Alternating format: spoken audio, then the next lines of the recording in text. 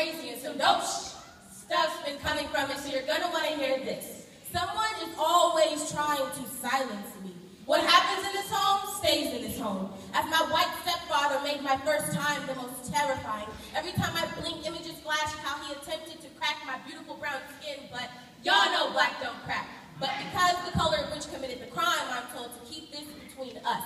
I need you to hear me. When I tell my story, they always try to censor it, complaining to the principal because they're uncomfortable. Could have swore that last week my poem was a hit though, but a brown girl spoke up and now you're exposed. The brown and black are going through a struggle the whole world's gonna know. My rhyme shall pierce your ears and educate your mind. Listen, y'all are lingering through America's abyss of white lies, stealing black culture for fashion and fun, but when we walk by, y'all still clenching your daughters and sons. I'm done.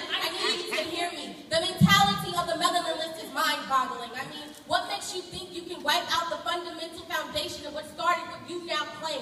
We all know where music was created. The heart-grabbing thump of a drum or the infinite amount of oxygen given to the sax. White jazz? What the is that? As you hear the line in the back, the sway of her brain, the intense footwork, please, don't act like you forgot. You came to us, destroyed our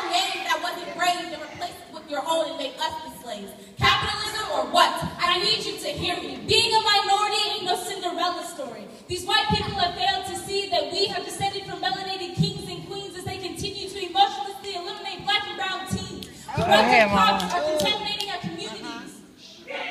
But it's normal now. Y'all know exactly how. These white kids have submersed themselves in our culture with the colored box braids they begged their parents for. Wearing white people's native headdresses, ignoring what they're truly meant for. Walking through the door with aching throats from shouting, go, Redskins, go. Oh, chill out, Joe. My Indian princess costume is so cute, though. Just stop. I need you to hear me. They want us to forget that we weren't good enough to drink the same water, sit next to each other, history would have you think. But it was really about choice and having our humanity recognized. To them, we weren't even human, but we breathed life into your children that we once raised. We cooked your food, we...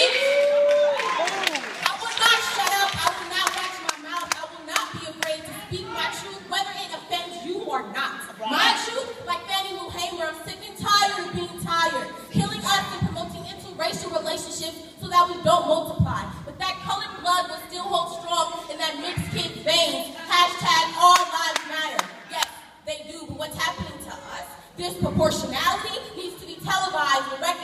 Worldwide on and off the television screen so we shout hashtag Black Lives Matter. But it's much more than putting on a t-shirt or writing on a poster board you got from the dollar store. We must demand the change we want to see. We can't react with riots. It's the language of the unheard. And us colored folks have volume, so we react with law degrees and more degrees. I live in a world where people rather see me fail than succeed, and the color of my shield can't defend me. So before I leave this temporary home, I'll pray every day that your hate will turn to gray and fade away.